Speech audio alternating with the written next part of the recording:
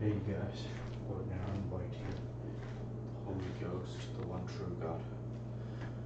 Back with you with the next video in my Lion of God workout series. Today I'll be working out le uh, legs.